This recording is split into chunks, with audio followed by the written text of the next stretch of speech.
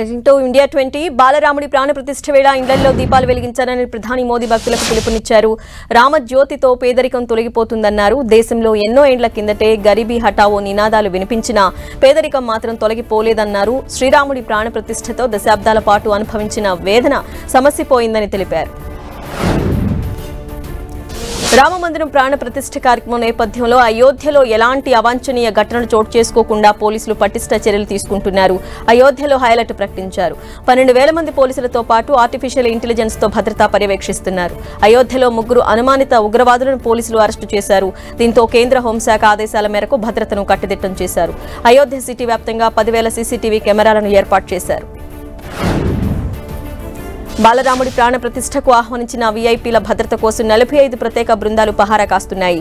ప్రధాని భద్రత కోసం స్పెషల్ ప్రొటెక్షన్ గ్రూప్ ఇప్పటికే అయోధ్య చేరుకుంది. UP ATS NIA cyber security బలగాలు అయోధ్యలో మోహరించారు. అత్యాధునిక సాంకేతిక పరిజ్ఞానంతో కమాండ్ సెంటర్ ఏర్పాటు చేశారు. అయోధ్యలో బాలరాముడి విగ్రహ ప్రాణప్రతిష్ఠ మహోత్సవానికి ఏర్పాట్లు చకచకా జరుగుతున్నాయి. వంద ప్రైవేటు చార్టెడ్ విమానాలు రానున్నట్టు అధికారులు అంచనా వేస్తున్నారు. భారీగా ట్రాఫిక్ ఏర్పడే అవకాశం ఉండడంతో అయోధ్యకు వెయ్యి కిలోమీటర్ల పరిధిలోని నాలుగు రాష్ట్రాలకు చెందిన పన్నెండు విమానాశ్రయాల అధికారులతో ట్రస్ట్ సభ్యులు సంప్రదింపులు జరిపారు.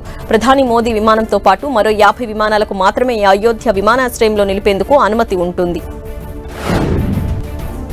ఆర్జేడీ అధ్యక్షులు లాలూ ప్రసాద్ యాదవ్ ఆయన కుమారుడు తేజస్వి యాదవ్కు మరోసారి ఈడీ నోటీసులు జారీ చేసింది. Railway land for jobs money laundering కేసులో తండ్రి కుమారులకు ఈడీ నోటీసులు ఇచ్చింది. వీరిద్దరిని పాట్నా ఆఫీసులో విచారణకు హాజరు కావాలని ఆదేశించింది. జనవరి ఇరవై తొమ్మిదిన లాలూను ముప్పైవ తేదీన తేజస్విని హాజరు కావాలని ఆదేశాలు జారీ చేసింది. చంద్రయాన్ త్రీలో అమర్చిన పరికరాలు నిద్రాణ స్థితిలోనూ దక్షిణ ధ్రువం నుంచి లొకేషన్లు గుర్తిస్తున్నట్లు ఇస్రో అధికారులు ధృవీకరించారు. అంతర్జాతీయ అంతరిక్ష ఒప్పందాల్లో భాగంగా చంద్రయాన్ త్రీ ల్యాండర్లో నాసాకు చెందిన లూనార్ రికన్సెన్స్ ఆర్బిటర్ను అమర్చారు. అందులోని లేజర్ రెట్రో రిఫ్లెక్టర్ ఎరే జాబిల్లి దక్షిణ ధ్రువంలోని లొకేషన్ మార్క్ సేవలను పునరుద్ధరించిందని వివరించారు. డిసెంబర్ పన్నెండు నుంచి ఎల్ఆర్ఏ నుంచి తమకు సంకేతాలు అందిస్తున్నట్లు ఇస్రో తెలిపింది. రాహుల్ గాంధీ భారత జోడో న్యాయ యాత్రపై అస్సాంలో కేసు నమోదైంది. రాష్ట్ర ప్రభుత్వ మార్గదర్శకాలను ఉల్లంఘించి యాత్రదారులు మార్పులు చేశారని పోలీసులు కేసు నమోదు చేశారు.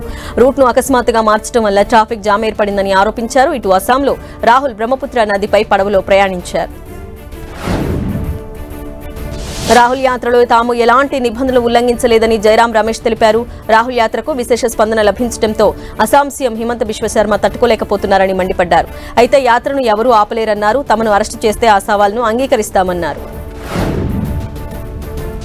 కర్ణాటక హైకోర్టు ప్రధాన న్యాయమూర్తి జస్టిస్ ప్రసన్న బి. వరేలాను సుప్రీంకోర్టు న్యాయమూర్తిగా నియమించాలని సిజేఐ జస్టిస్ డివై చంద్రచూడ్ నేతృత్వంలోని సుప్రీంకోర్టు కొలిజియం కేంద్రానికి సిఫార్సు చేసింది.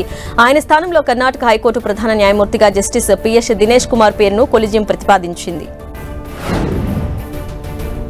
ఢిల్లీలో జరగనున్న రిపబ్లిక్ డే పెరేడ్లో యాభై ఒక్క విమానాలతో ప్రదర్శన ఇవ్వనున్నారు ఎయిర్ ఫోర్స్ సిబ్బంది. ఇందులో ఇరవై తొమ్మిది ఫైటర్ జెట్స్ ఎనిమిది ట్రాన్స్పోర్ట్ విమానాలు పదమూడు హెలికాప్టర్లు ఉంటాయని ఐఏఎఫ్ వింగ్ కమాండర్ మనీష్ తెలిపారు. తొలిసారి సి టూ నైన్ పై కార్గో విమానాన్ని ప్రదర్శించనున్నారు.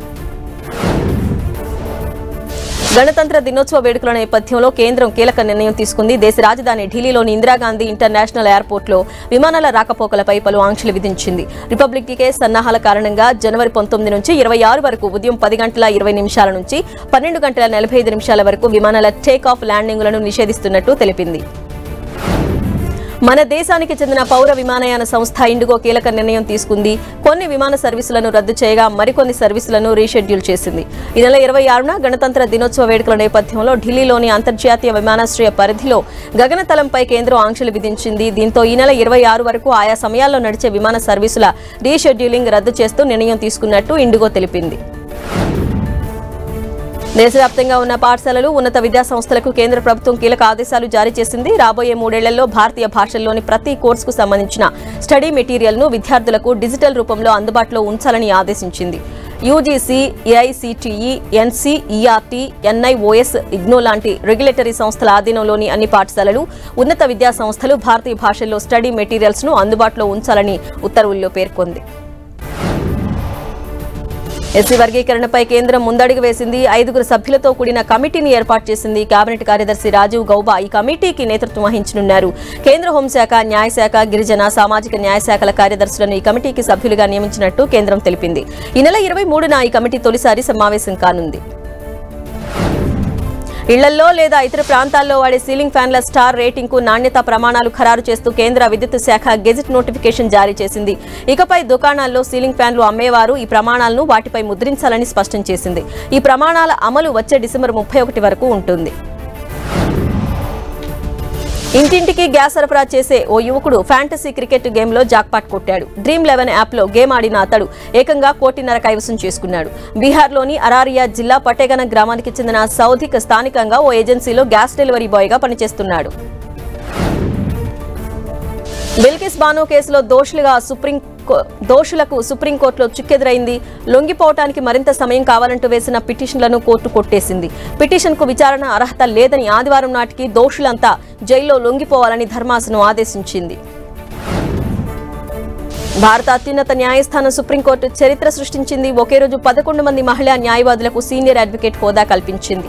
గత డెబ్బై ఐదేండ్ల కాలంలో ఇప్పటి వరకు కేవలం పద్నాలుగు మంది మహిళా న్యాయవాదులు మాత్రమే సీనియర్ అడ్వకేట్ హోదాను పొందారు. ఇందులో ఇప్పటికే ఇద్దరు పదవి విరమణ పొందారు.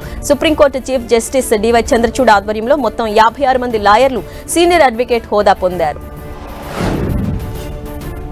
ముఖేష్ అంబానీకి చెందిన రిలయన్స్ ఇండస్ట్రీస్ త్రైమాసిక ఫలితాలను ప్రకటించింది. డిసెంబర్తో ముగిసిన మూడో త్రైమాసికంలో పదిహేడు వేల రెండు వందల అరవై ఐదు కోట్ల నికర లాభాన్ని నమోదు చేసింది. గతేడాది ఇదే త్రైమాసికంలో నమోదైన లాభంతో పోలిస్తే తొమ్మిది పాయింట్ మూడు శాతం వృద్ధి చెందింది.